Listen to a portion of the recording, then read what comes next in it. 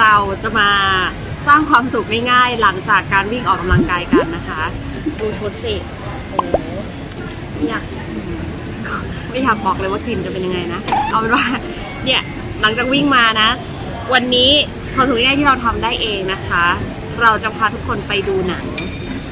ซึ่งหนังเรื่องนี้นะคะ อยากบอกว่าน่าจะเป็นเรื่องราวใกล้ๆตัวของทุกๆคนมาก่อน แม้ว่าบางคนเนี่ย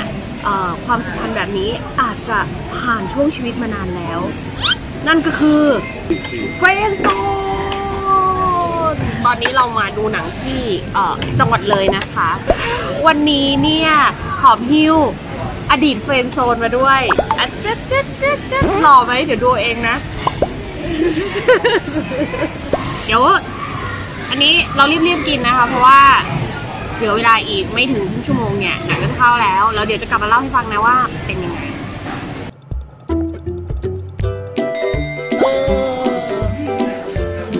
เออ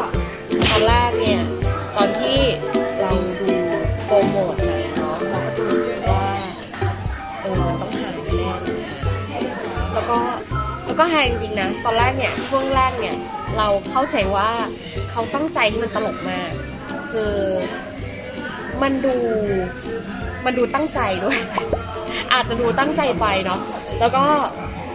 รู้สึกคุ้มมากกับการที่เราไปประเทศหนึ่งประเทศหนึ่งประเทศหนึ่งแบบหลายประเทศมากอะแต่ว่าอยู่ไม่นานเนาะก็จะรู้สึกเหมือนตัวเองเป็นเด็กสมาธิสั้นอยู่ช่วงหนึ่งแล้วก็เด็กสมาธิสั้นก็พยายามพาเราตลกตึ๊กตึ๊กตึ๊กตึ๊กตึ๊กนะ แล้วก็จริงๆ เราแอบคิดในใจอยู่ว่า เราจะมีช่วงที่เราซาบซึ้งกับมันหรือเปล่าจนกระทั่งเอ่อเรื่องเนี่ยดำเนินไปถึงกลารเรื่องเนาะเรื่องเนี่ยเออตัวการดำเนินเรื่องเนี่ยเริ่มโฟกัสนะกับความสัมพันธ์ของเพื่อน เออ แล้วมันทำให้นะ รู้สึกได้จริงๆนะว่าไอ้การที่เพื่อนแอบหลอกเพื่อน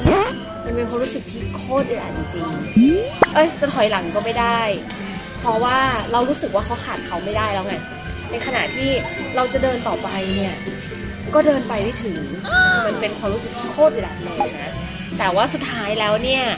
ความรักแท้ก็คือความรักแท้ค่ะ คือเมื่อไรก็ตามที่เราเกิดมาเพื่ออยู่ด้วยกันเนี่ยไม่ว่ามันจะเริ่มต้นด้วยสถานะไหนก็ตามนะ สุดท้ายเนี่ย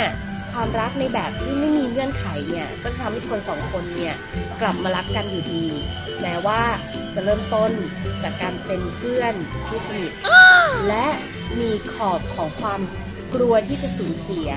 อย่างมากนะคะแต่สุดท้ายเนี่ยความรักแท้ตรงนี้แหละค่ะมันทำให้เราเนี่ยก้าวข้ามเฟรนด์โซนออกไปได้ เย้ ขอแสดงความยินดีนะคะ กับ คุณปาล์มนะคะ และคุณกิ่งด้วยนะคะที่สามารถก้าวข้ามกำแพงอันยิ่งใหญ่ของเฟนโซนออกไปได้นะคะ แล้วก็เป็นกำลังใจให้ทุกคนนะคะที่อยู่ในสภาวะนี้เนาะ